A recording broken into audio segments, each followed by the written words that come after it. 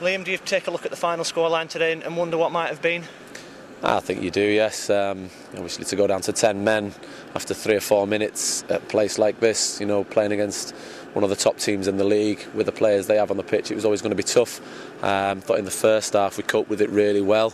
Uh, we was quite comfortable um, on a few set pieces and a few bits of open play. I think we, we, we shaded it quite well in the first half, um, although with 10 men, but uh, you know, it was always going to be tough many people would have given you not a lot of chance with 11 men, given the respective positions of the, of the two teams. How much pride can you take in that first half display? Yeah, I said to the lads, you know, you, you, if, if somebody puts that much effort in, you know, as, a, as an individual and as a, as a unit, you haven't got a problem. You know, it, it's sadly the decisions affected uh, everything what we've done, you know, through the week and today.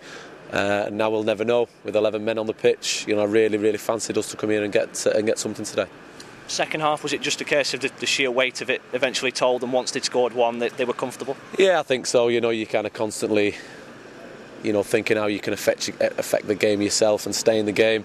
Um, and then, you know, like I said, they've got some good players, a couple of uh, a couple of chances, and you know, you find yourself two 0 down. I think the weight of the the pressure told in the end. Although we had a couple of chances, but uh, like I said, they're a good team, and and when you know some decisions like today don't go your way, it, it's you know it makes it even harder having not seen it again, it's difficult to comment, isn't it? But the, the decision that saw Charlie Barnett sent off, what did you make of the tackle?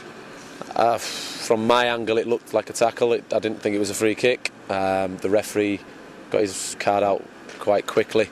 Um, I will have to see it again before I comment any further, to be honest. And I suppose the positive you can take from that is, is the way you rallied, changed things round. You know, square pegs in round holes a little bit and, and made chances. Yes, again, you know, from, from the previous week down at Plymouth, you know, we've had a couple of bad injuries, so we had to reshuffle and reshape today.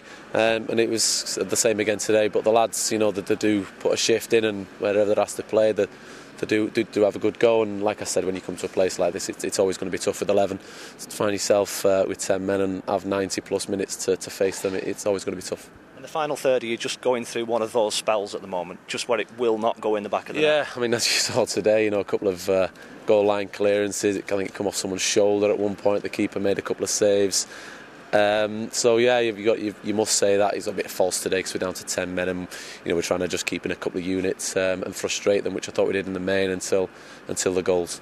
When you've put so much into a first half, what can you really say to them at, at half time when they, when they've been on top with ten men? Uh, well, it was obvious, you know.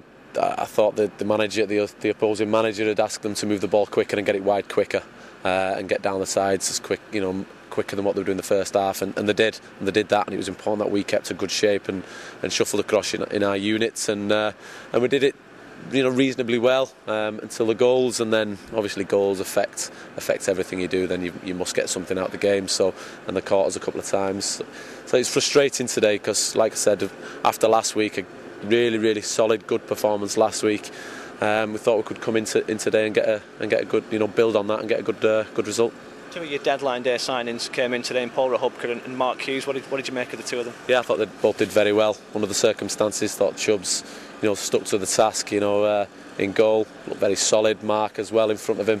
Um, you know, he's a good player. He's played hundreds of games, um, but like I said, it was a bit false. Affected everything we did uh, after the first couple of minutes. So, uh, you know, although it is a tough day. You know, they've worked hard. You can't really criticise too much because outside influences affect what we do.